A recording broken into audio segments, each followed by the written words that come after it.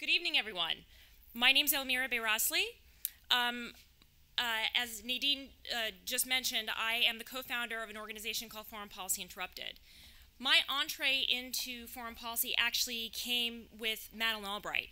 I was a graduate student at Columbia University in, in the 90s, and I actually got a, I scored a job working for um, uh, who, then Ambassador Albright when she was the U.S. Ambassador to the United Nations and while I was with her, I actually got a front seat to foreign policy, and I got to see the in, ins and outs of foreign policy. Not just the diplomacy making, but the challenges, particularly the challenges for, for women. Um, and I have to say, in the in the 1990s, no, I, mean, I know this is going to be a big shocker, but foreign policy was still it was still an all boys club. Um, so I mean, imagine the thrill when in, in after Bill Clinton was reelected, that uh, that Madeleine Albright came, became the first female Secretary of State. We thought the dam had been broken, the, the, the ceiling shattered. Women had made it in foreign policy. The women that came after um, Secretary Albright, Condi Rice, Hillary Clinton, they they confirmed that. They confirm that hope. We thought, you know, here we here we've made it. We've women's voices in foreign policy. They're they're they're actually a real thing. Um, and for me, you know, it's so interesting because my entire my entire career in foreign policy was shaped by of and by women you know, I, I can't imagine having a foreign policy discussion without women. And it wasn't just these women, it was also women like Christiane Amanpour and Anne Marie Slaughter, who's actually a founding board member of Foreign Policy Interrupted. But fast forward to 2015. When we think of foreign policy and when we turn on the television, what do we see in foreign policy? we see gray suits on, on Charlie Rose. We see gray suits and white men on Meet the Press. And then we see more men talking about, about men talking about issues about in, in, involving women. And and there's an uproar about this. Things like this happen, and uh, I think about every six months there's there's an uproar. It's it's what where are the women in foreign policy, and why where are our voices? And so I had a conversation about this two years ago with Lauren Bohn, who is my co-founder, and we thought, okay, well, what what is the challenge here? Why why do we keep having these these questions come up but there are no solutions everybody's angry about it but why can't we solve the problem and so we sat down and we dissected the problem and we came up with um, we, we, we dissected the problem one of the issues is that first of all, I want to say there is, I mean, look at this in this room, International Women's Media Foundation, there is no lack of women in foreign policy. That's number one. Um, so, but but I think what the challenge is, I think that I, I know speaking for myself, women want to be perfect before we volunteer for anything. We want to make sure that we're the experts for, uh, on anything. And so when Al Jazeera calls or CNN calls, you know, I'm always hesitant to say, well, I don't know enough about that subject. Meanwhile, a guy who you know may may have gone to Yemen, he might might have passed through the airport, is like is like, oh yeah, I can go on Charlie Rose and I can go talk about that. I mean, the balls that men have, it's it's unbelievable. Um, and so, you know, how do we get more women to, to own, to own, to own, to own the expertise that they have, the knowledge that they have? Because, ladies, let me tell you something. We know a hell of a lot, and we know a hell of a lot more than those boys do.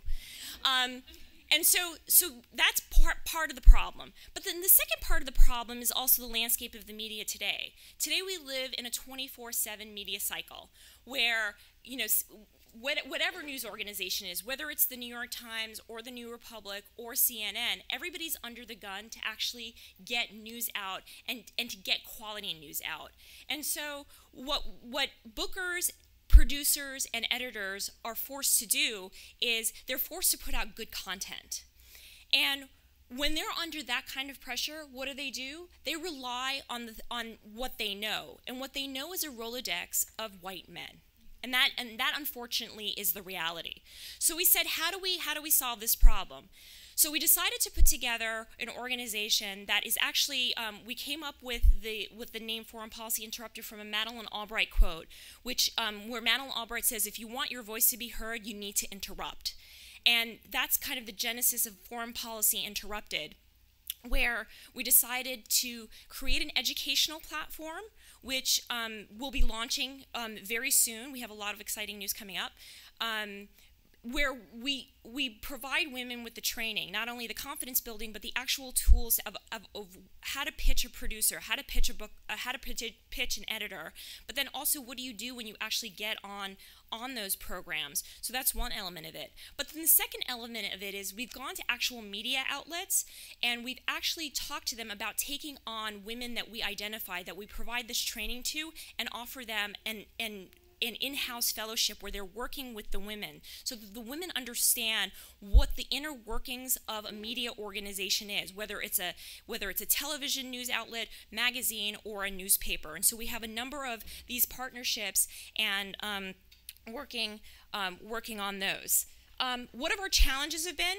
Not a surprise money um, everybody thinks that foreign policy interrupted is a great idea. Um, money has been a challenge, but Lauren and I decided that we weren't going to look at money as an obstacle. We were gonna, we were, we said, what are the best entrepreneurs? What are they, what have they done, and why have they succeeded? And so we took, we looked at the stories of Steve Jobs and um, our hero Oprah Winfrey, um, and what they, and, and basically, um, uh, they, they kept with their vision they um, they did what uh, Sir Roger Bannister in 1954. Sir Roger Bannister broke the four-minute mile. People said that the four-minute mile could not be broken, and he did it. And you know what's interesting? 46 days after Roger Bannister broke the four-minute, he ran the mi a mile under four minutes.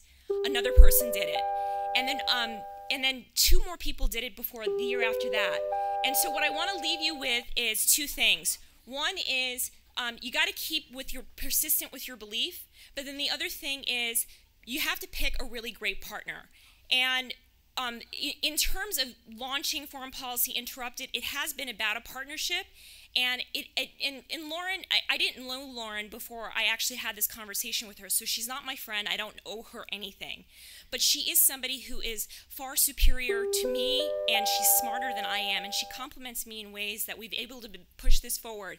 And I'll just leave you with we have two events coming up next week. One is on Monday night here in New York at the New America Foundation where we're having a conversation entitled Where are the Women in Foreign Policy and another event in Washington DC on Wednesday and I hope you can all join us there and we can have a longer conversation about this. Thank you very much.